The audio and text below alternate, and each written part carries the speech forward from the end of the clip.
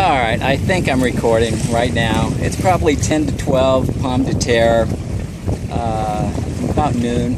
So, anyway, my new Sea Pearl, 21 foot trimaran. Doing okay. I'm still figuring the boat out, so, uh, yeah, so I'm still figuring the boat out. That's about all you can say about that. You know, I've had a few glitches. Um, some things I like a lot, some things I don't like. Um, she's actually scooting right along right now.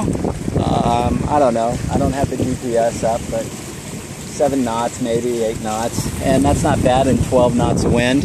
Um, she's a good boat. It's a good boat. Um, there's some design things that I don't really, really like, and and the ease of deployment, and that might be just from inexperience. Just seems a little more difficult. Um, what she does do is she heaves to really well. I've already practiced that a couple of times.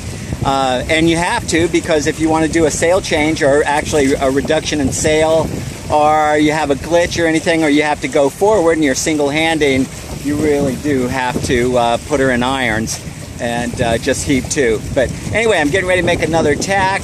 Um, she's got dual lee boards and uh, and they mean lee boards for a reason. So you really want the lee board down in the water. But anyway, I'm she's moving along pretty good, and she points pretty high too. I don't have her as pointed as I'm, I'm going more for a little bit of speed than I am for. Uh, uh, I just want to see what she can do. So, okay, on that note, I'm going to close on out and actually, you know, pay attention and, and actually uh, uh, pilot the boat. So, this is it. She is a good looking boat. She's got really nice lines. She can get into a foot of water, no problems. Matter of fact, if I wanted to, I could run it right up on that beach without batting an eye, but uh, I don't want to do that. I'm just going to go ahead and tack up this uh, finger here at Pomme de Terre Lake.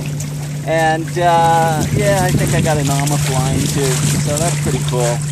And this lee board's partially down because I was just too lazy to bring it all the way up. And all this might be done by windage anyway. So, uh, okay, anyway, once again, uh, Pomme de Terre Lake, uh, June. Oh shit, I think it's actually solstice. But hey, I got to come around, so I'm to close off right now. We're clear.